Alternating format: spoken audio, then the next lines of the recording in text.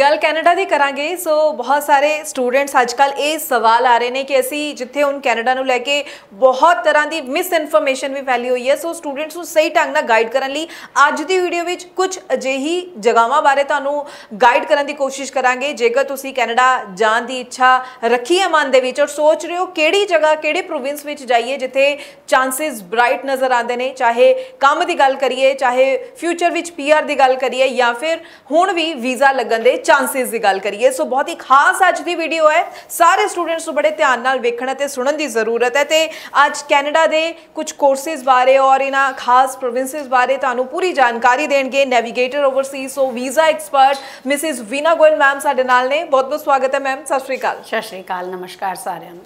So ma'am ਦਾ ਤਕਰੀਬਨ 26 27 ਸਾਲਾਂ ਦਾ experience ਔਰ ਹਰ ਕੰਟਰੀ ਜਦੋਂ ਜਦੋਂ ਜਿਸ ਵੀ ਤਰ੍ਹਾਂ ਦਾ ਮੋਡ ਲੈਂਦੀ ਹੈ ਉੱਥੋਂ ਦੇ ਰੂਲਸ ਚੇਂਜ ਹੁੰਦੇ ਨੇ ਉਸ ਦੇ ਨਾਲ ਨਾਲ ਹਮੇਸ਼ਾ ਹੀ ਸਟੂਡੈਂਟਸ ਨੂੰ ਗਾਈਡ ਕਰਦੇ ਰਹੇ ਨੇ ਕਿ ਕੀ ਸਹੀ ਡਿਸੀਜਨ ਲੈਣਾ ਚਾਹੀਦਾ ਸਟੂਡੈਂਟ ਨੂੰ। ਅੱਜ ਦੇ ਟਾਈਮ ਵਿੱਚ ਕੈਨੇਡਾ ਨੂੰ ਲੈ ਕੇ ਵੀ ਜਿਸ ਤਰ੍ਹਾਂ ਸਟੂਡੈਂਟ ਥੋੜੇ ਕਨਫਿਊਜ਼ ਹੋਏ ਪਏ ਨੇ ਡਿਸੀਜਨ ਲੈਣ ਦੇ ਵਿੱਚ ਉਹਨਾਂ ਦੇ ਡਿਲੇ ਇਸੇ ਕਰਕੇ ਆ ਰਿਹਾ ਕਿ ਸਮਝ ਨਹੀਂ ਆ ਰਹੀਆਂ ਚੀਜ਼ਾਂ।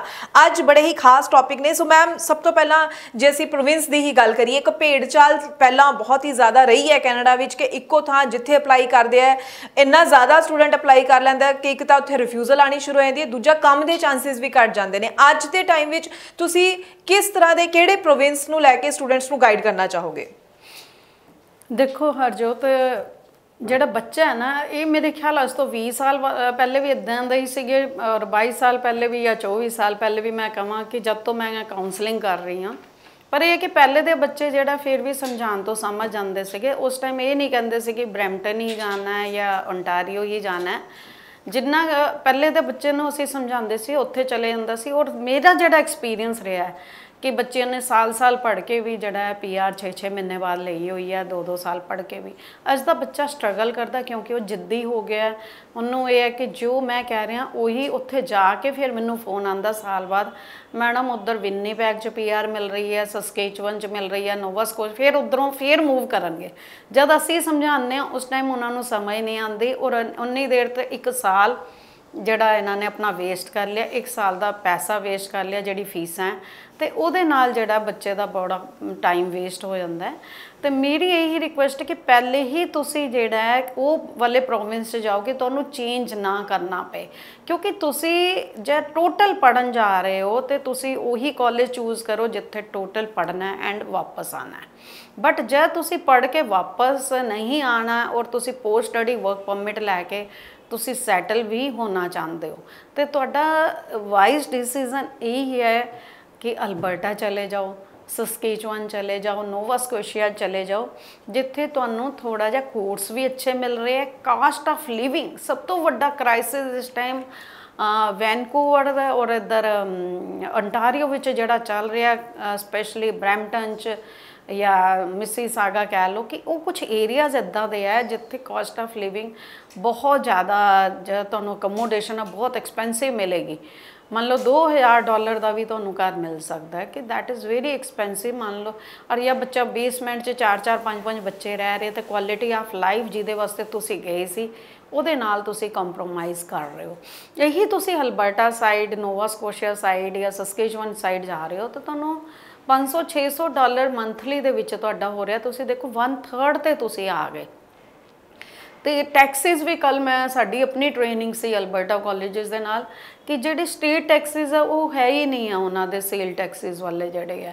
ਤੇ ਉਹਨਾਂ ਦੇ ਟੈਕਸਿਸ ਵੀ ਬਹੁਤ 10% ਟੈਕਸਿਸ ਤੇ ਉਹਨਾਂ ਦੇ ਉਹੀ ਘੱਟ ਸੀਗੇ। ਉਹਦੇ ਨਾਲ ਕਾਸਟ ਆਫ ਲਿਵਿੰਗ ਅਕਮੋਡੇਸ਼ਨ ਦੇ ਇਲਾਵਾ ਤੁਹਾਡੇ ਹੋਰ ਵੀ ਖਰਚੇ ਘੱਟ ਹੋ ਗਏ। ਜਾਂ ਟੈਕਸਿਸ ਘੱਟ ਹੈ ਜੋ ਵੀ ਚੀਜ਼ ਤੁਸੀਂ ਪਰਚੇਜ਼ ਕਰ ਰਹੇ ਹੋ, ਤੇ ਤੁਹਾਨੂੰ ਉਸ ਦੇ ਉੱਪਰ ਵੀ ਉਹ ਵੀ ਥੋੜੀ ਸਸਤੀ ਪੈ ਰਹੀ ਹੈ ਗੱਡੀਆਂ ਲੈ ਰਹੇ ਹੋ ਉਹਦੇ ਵਿੱਚ ਵੀ ਟੈਕਸਿਸ ਉਹਨਾਂ ਦੇ ਘੱਟ ਹੈ ਤੇ ਜੇ ਤੁਹਾਨੂੰ ਇਹ ਵੀ, ਹਰ ਚੀਜ਼ ਓਵਰਆਲ ਤੁਹਾਨੂੰ ਫ਼ਰਕ ਪੈ ਰਿਹਾ ਕਾਸਟ ਆਫ ਲਿਵਿੰਗ ਤੇ ਕਿਉਂਕਿ ਜਿਹੜਾ ਸਟੂਡੈਂਟ ਜਾ ਰਿਹਾ ਉਹਨੂੰ ਸਭ ਤੋਂ ਜ਼ਿਆਦਾ ਕੀ ਸਟਰਗਲ ਹੈ ਕਿ ਫੀਸ ਤੇ ਪੇਰੈਂਟਸ ਨੇ ਦੇਤੀ ਜਿਹੜੀ ਕਾਸਟ ਆਫ ਲਿਵਿੰਗ ਹੈ ਪਹਿਲੇ ਕੰਮ ਲੱਭਣਗੇ, ਕੰਮ ਕਰਨਗੇ, ਫਿਰ ਕੰਮ ਕਰਕੇ ਉਹ ਕਾਸਟ ਆਫ ਲਿਵਿੰਗ ਤੇ ਖਰਚਾ ਹੋ ਜਾਏਗਾ। ਤੇ ਐਟ ਦਾ ਐਂਡ ਤੁਸੀਂ ਕੀਤਾ ਕੀ, ਕਿ ਤੁਸੀਂ ਫੇਲ ਹੋ ਗਏ, ਫਿਰ ਕਿਸੇ ਸਬਜੈਕਟ 'ਚ ਫਿਰ ਉੱਥੇ ਫੀਸਾਂ ਭਰੋ। ਤਾਂ ਬੈਟਰ ਇਹ ਹੀ ਹੈ ਕਿ you have to you know wisefully think what you are doing ਕੀ ਕਰ ਰਹੇ ਹੋ ਤੁਸੀਂ, ਬਹੁਤ ਸਮਝਦਾਰੀ ਨਾਲ ਤੁਸੀਂ ਸੋਚੋ ਕਿ ਜੇ ਤੁਸੀਂ ਇਹ ਖਾਲੀ ਇੱਕ ਮਜ਼ਦੂਰ ਬਣ ਕੇ ਤੁਸੀਂ ਇੱਕ ਐਂਟਰ ਹੋ ਗਏ ਫਿਰ ਤੁਸੀਂ ਸਿਸਟਮ ਦੇ ਵਿੱਚ ਵੜ ਕੇ ਉਹੀ ਪੈਸਾ ਜਿਹੜਾ ਤੁਸੀਂ ਐਗਜ਼ਾਮ ਪਾਸ ਹੋਣ ਚ ਵਕੀਲਾਂ ਨੂੰ ਦੇ ਰਹੇ ਹੋ there is no use better ਹੈ ਤੁਸੀਂ ਇੱਕ ਜਿੱਦਾਂ ਇੱਥੇ ਆਪ- ਇੱਕ ਅੱਛੀ ਫੈਮਿਲੀਜ਼ ਦੇ ਬੱਚੇ ਡਲਹੌਜ਼ੀ ਚ ਪੜ੍ਹਦੇ ਆ ਅਹ, ਹਿ- ਜਾਂ ਮਾਊਂਟੇਨਸ ਦੇ ਵਿੱਚ ਜਾਂਦੇ ਆ ਪੜਨ ਤੁਸੀਂ ਉਸ ਹਿਸਾਬ ਨਾਲ ਜਾਓ ਕਿ ਜਿਹੜਾ ਤੁਹਾਡਾ ਕਾਸਟ ਆਫ ਲਿਵਿੰਗ ਘੱਟ ਹੋਏ ਤੁਹਾਨੂੰ ਪੜਨ ਚ ਜਿਹੜਾ ਇੱਕ ਧਿਆਨ ਲੱਗੇ ਔਰ ਉਸ ਦੇ ਬਾਅਦ ਪੋਸਟ ਸਟੱਡੀ ਵਰਕ ਪਰਮਿਟ ਚ ਤੁਹਾਨੂੰ ਜੌਬ ਅੱਛੀ ਮਿਲ ਸਕੇ। ਇਸ ਹਿਸਾਬ ਨਾਲ ਤੁਸੀਂ ਕਰੋ। ਜੀ ਜੀ, ਬਿਲਕੁਲ। ਸੋ ਸਟੂਡੈਂਟਸ ਨੂੰ ਜ਼ਰੂਰ ਇਹਨਾਂ ਸਭ ਚੀਜ਼ਾਂ ਦਾ ਧਿਆਨ ਦੇਣਾ ਚਾਹੀਦਾ ਕਿਉਂਕਿ ਸਹੀ ਡਿਸੀਜਨ ਲੈਣ ਦੇ ਲਈ ਇਹ ਬੇਸਿਕ ਚੀਜ਼ਾਂ ਸਮਝਣੀਆਂ ਬਹੁਤ ਹੀ ਜ਼ਿਆਦਾ ਜ਼ਰੂਰੀ ਹੈ। ਅਸੀਂ ਇਸ ਨੂੰ ਬੇਸਿਕ ਨਹੀਂ ਕਹਾਂਗੇ, ਬਲਕਿ ਤੁਹਾਡੇ ਫਿਊਚਰ ਨੂੰ ਅੱਗੇ ਇੱਕ ਸਹੀ ਦਿਸ਼ਾ ਦੇਣ ਦੇ ਲਈ ਇੱਕ ਖਾਸ ਅਸੀਂ ਮੁੱਦਾ ਮੰਨ ਸਕਦੇ ਹਾਂ ਕਿਉਂਕਿ ਸਟੂਡੈਂਟ ਇੱਥੇ ਹੀ ਗਲਤੀਆਂ ਕਰ ਜਾਂਦੇ ਨੇ, ਜਿਸ ਕਰਕੇ ਬਾਅਦ ਵਿੱਚ ਉਹਨਾਂ ਨੂੰ ਆਪਣੇ ਡਿਸੀਜਨ ਤੇ ਵੀ ਕਈ ਵਾਰੀ ਗਲਤੀ ਫੀਲ ਹੁੰਦੀ ਹੈ ਕਿ ਅਸੀਂ ਸਹੀ ਚੀਜ਼ਾਂ ਕਿਉਂ ਨਹੀਂ ਸੋਚ ਸਮਝ ਕੇ ਅੱਗੇ ਵਧੇ। ਸੋ ਮੈਮ ਆਪਾਂ ਇੱਥੇ ਮੈਂ ਥੋੜਾ ਜ਼ਿਕਰ ਕੋਰਸਸ ਨੂੰ ਲੈ ਕੇ ਵੀ ਕਰਨਾ ਚਾਹੂੰਗੀ। ਵਰਕ ਓਰੀਐਂਟਡ ਕੋਰਸਸ ਨੂੰ ਲੈ ਕੇ ਅੱਜ ਕੱਲ ਸਟੂਡੈਂਟਸ ਬਹੁਤ ਜ਼ਿਆਦਾ ਕੁਐਰੀਜ਼ ਆ ਰਹੀ ਨੇ ਕਿਉਂਕਿ ਲਗਾਤਾਰ ਜਿਵੇਂ ਅਸੀਂ ਸਥਿਤੀਆਂ ਦੇਖ ਰਹੇ ਹਾਂ ਕੈਨੇਡਾ ਵਿੱਚ ਸਟੂਡੈਂਟਸ ਦੀ ਬਹੁਤ ਸਾਰੇ ਆ ਰਹੇ ਕਿ ਵੀ ਕੰਮ ਨੂੰ ਦਿੱਕਤ ਹੈ ਮੈਮ ਤਾਂ ਅਸੀਂ ਕਿਸ ਤਰੀਕੇ ਨਾਲ ਕਿਸ ਕਿਹੜੇ ਕੋਰਸਸ ਵਿੱਚ ਅੱਗੇ ਵਧੀਏ ਤਾਂ ਕਿ ਸਾਨੂੰ ਅੱਗੋਂ ਕੰਮ ਵਿੱਚ ਵੀ ਦਿੱਕਤ ਨਾ ਹੋਵੇ। ਇਹ ਕੁਐਸਚਨ ਤੁਸੀਂ ਬਹੁਤ ਅੱਛਾ ਪੁੱਛਿਆ। ਜੇ ਸਟੂਡੈਂਟ ਪਹਿਲੇ ਹੀ ਕੋਰਸ ਅੱਛਾ ਲੈ ਕੇ ਜਾਏ ਤਾਂ ਉਹਨੂੰ ਇਹ ਸਟਰਗਲ ਨਹੀਂ ਕਰਨੀ ਪਏ ਜੀ। ਤੁਸੀਂ ਇੱਕ ਆਮ ਕੋਰਸ ਲੈ ਕੇ ਚਲੇ ਗਏ ਗਾ ਨਾ ਤੁਹਾਨੂੰ ਏਜੰਟ ਨੇ ਕਿਹਾ ਕਿ ਤੁਸੀਂ ਬਿਜ਼ਨਸ ਮੈਨੇਜਮੈਂਟ ਲੈ ਲਓ ਬਿਜ਼ਨਸ ਮੈਨੇਜਮੈਂਟ ਚ ਚਲੇ ਗਏ।